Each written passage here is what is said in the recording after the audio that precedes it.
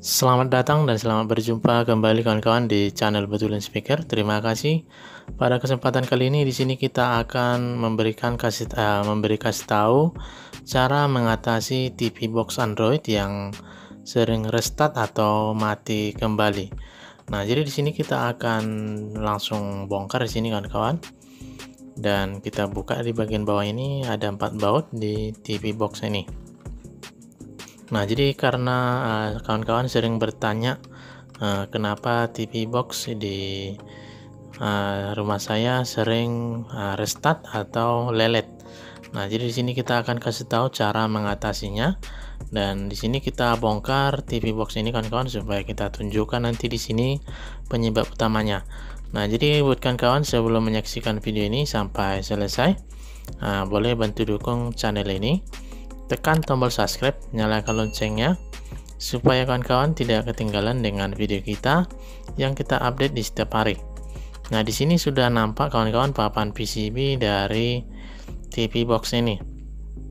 Dan di sini kita akan uh, cek di sini kondisi suhu pada uh, chipset pada TV box ini. Nah, di sini pada saat kita cek uh, di sini menggunakan tes suhu dan di sini masih uh, dingin kawan-kawan dan cek di uh, monitor pada cek suhu ini masih 32 uh, derajat. Nah, jadi di sini pada saat kita hidupkan nanti kita hubungkan kabel power adaptornya nih tegangan 5 volt dan kita akan sambungkan di sini kabel HDMI-nya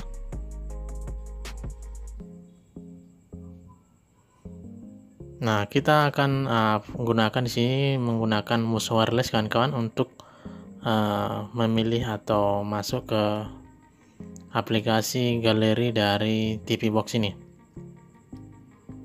Nah, di sini sudah muncul tampilan uh, Android-nya.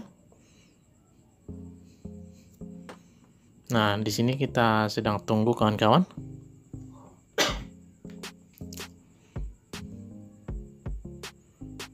Nah, di sini sudah uh, menyala dan sudah terbuka uh, tampilan pada TV box ini. Dan kita akan cek suhu pada chipsetnya ini dan uh, di sini sedang kita tunggu dan sudah terbuka di sini aplikasi pada TV box ini. Nah, jadi kita akan cek di sini pada saat uh, sudah menyala TV box ini dia akan uh, chipsetnya ini nanti akan cepat panas kan kawan? Nah jadi di sini sangat berpengaruh dengan suhu ruangan pada uh, di mana posisi TV box ini. Dan kita akan sambungkan di sini uh, koneksi WiFi nya supaya kita tes di sini. Kita hubungkan uh, koneksi ke WiFi nya Nah, jadi di sini kita menggunakan kode WiFi yang ada di uh, ruangan ini dan untuk lebih stabil uh, kawan-kawan uh, bisa menggunakan uh, kabel LAN supaya sambungan WiFi-nya atau internetnya lebih stabil. Nah, jadi di sini kita menggunakan lewat kode WiFi-nya dan di sini memang agak lelet karena pemakaian yang terlalu banyak. Nah, di sini sudah tersambung kawan-kawan dan kita akan coba membuka di sini aplikasi YouTube. Dan di sini masih di dalam proses.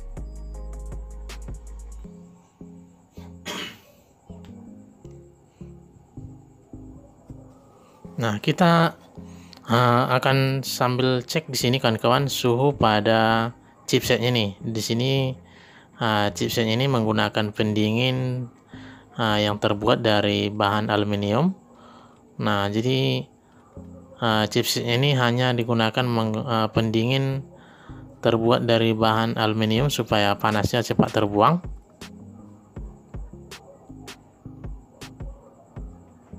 Nah, di sini sudah kita sedang putar uh, aplikasi YouTube ini. Dan kita tunggu di sini perlahan-lahan kawan-kawan dan kita sambil cek di sini suhu pada chipsetnya nih dan di sini sudah meningkat menjadi 37 derajat.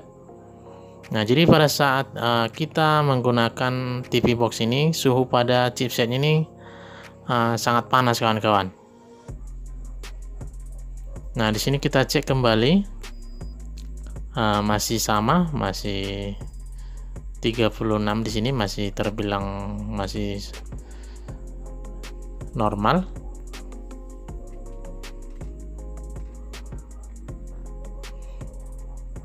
Nah, jadi pada saat nanti suhu pada chipsetnya ini makin panas, uh, TV box ini akan sering restart dan kembali ke menu awal. Dan di situ sangat sering terjadi kerusakan pada TV box yang diakibatkan karena suhu pada ruangan atau TV box ini tidak sirkulasi.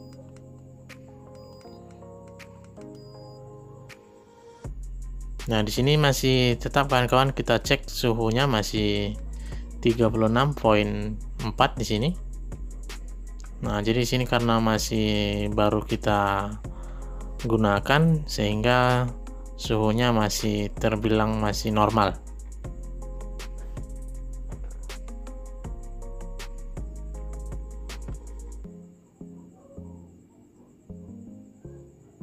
Nah, jadi nanti apabila suhu pada chipsetnya ini semakin meningkat, uh, nanti TV box ini akan sering uh, nge-lag atau lambat dan bisa juga uh, aplikasinya kembali ke menu awal.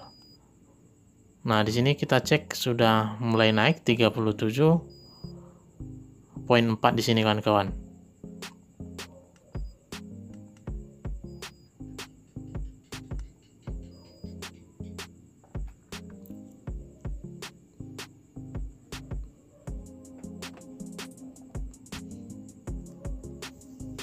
Nah, jadi kita sambil tunggu di sini kawan-kawan nanti sampai proses uh, suhunya ini sampai nanti meningkat dan kita akan kasih tahu nanti solusinya supaya lebih stabil dan tidak gampang uh, naik suhunya. Nah, di sini pada saat kita cek menggunakan uh, tes suhu ini, di sini temperaturnya sudah meningkat dan di sini sudah tidak terbaca pada cek suhu ini di sini sudah high di sini tulisannya kawan-kawan.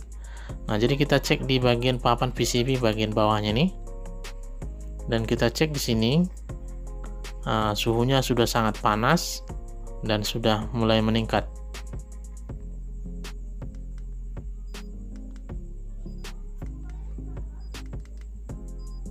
Nah, jadi kita cek kembali sini sudah muncul tampilannya. Suhunya sudah 40 derajat poin 7 dan sudah mulai panas sekali di sini kawan-kawan. Dan di sini juga sudah naik kembali, sudah 42 derajat poin 2. Nah, jadi untuk mengatasi suhu panas pada TV box ini kita akan uh, kasih tahu di sini menggunakan sebuah kipas atau fan di sini kawan-kawan. Dan di sini sudah kita sediakan kipas untuk uh, mengurangi panas pada nah, TV box ini dan di sini uh, kipas ini menggunakan colokan USB dan kita akan hubungkan langsung ke terminal colokan USB ini di TV box ini.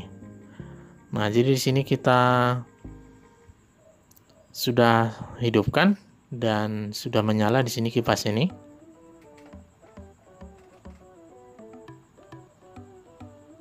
Nah, di sini kita sudah sediakan kipas yang menggunakan colokan USB kan kawan.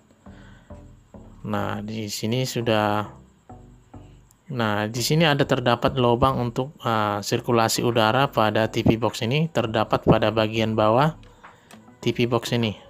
Nah, jadi di sini karena suhu pada TV box ini pada saat pemakaiannya agak lama dia akan panas sekali kawan-kawan.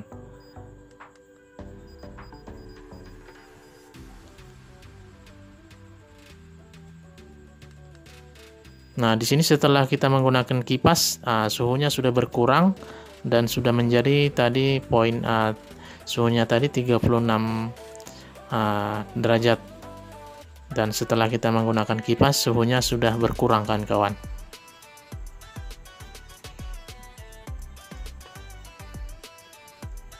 Nah, jadi di sini setelah kita kipas dan sangat berpengaruh kan kawan dan suhunya langsung cepat berkurang dan TV box ini pasti awet dan tidak gampang uh, restart dan kembali ke menu awalnya.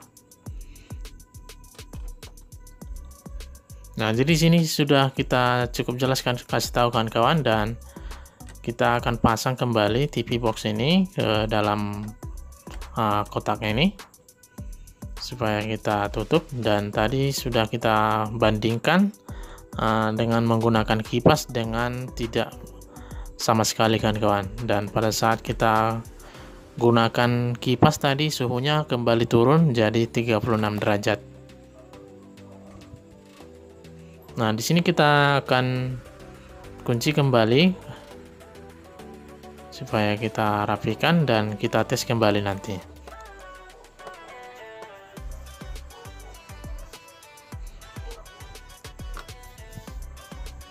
Nah, jadi buat kawan-kawan, uh, seperti itulah tadi cara mengatasi TV box yang sering restart atau mati kembali dan bisa juga uh, ngelet atau lelet dan sinyalnya juga mungkin jadi lambat dan bisa diakibatkan karena suhunya terlalu panas dan di sini sudah ada disediakan lubang untuk sirkulasi udaranya.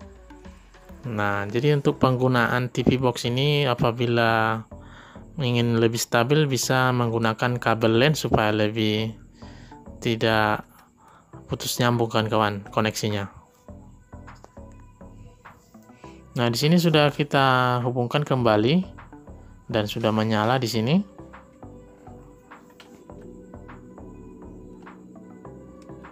Dan kita hubungkan di sini colokan USB dari kipas ini ke terminal terminal USB pada TV box ini. Nah, di sini kita hubungkan. Dan kipasnya tadi kita letak di bawah pada TV box ini. Sehingga udaranya sirkulasi masuk ke, ke bagian bawah dari TV box ini nah jadi seperti ini kita uh, gunakan kawan-kawan. Kita letakkan di sini TV box. Di bagian bawah uh, ah, TV box ini. Sehingga udaranya sirkulasi dan tidak gampang panas lagi.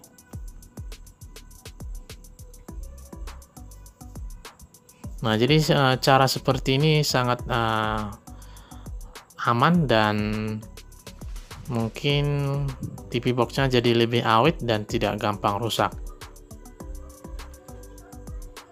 Nah, jadi di sini sudah kita tunjukkan kan kawan dan arah kipasnya uh, diarahkan kepada TV box ini bagian bawahnya nih. Sehingga sirkulasi udaranya bertukar.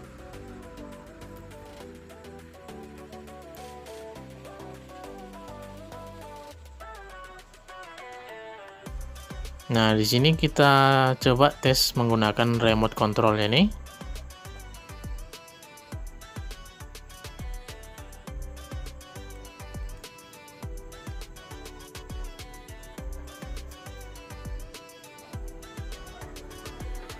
Dan di sini koneksinya terputus karena dari wifi-nya yang pemakaiannya terlalu banyak. Nah, jadi di sini sudah cukup jelas kawan-kawan dan uh, semoga bermanfaat video ini dan jangan lupa saksikan terus video-video menarik dan terbaru di channel Betulun Speaker ini yang kita update di setiap hari.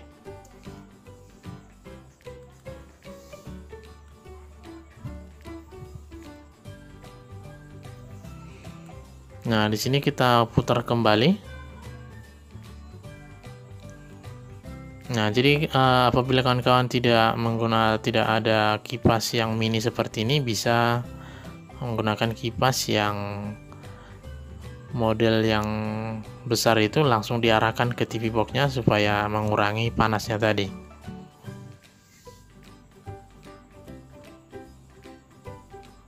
Nah, jadi semoga bermanfaat video ini. Uh, sampai di sini dulu. Cukup sekian dan terima kasih.